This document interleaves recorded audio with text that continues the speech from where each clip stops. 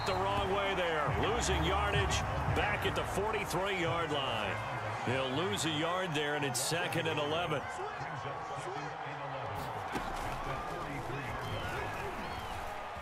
And some space here. 30, the 20, and he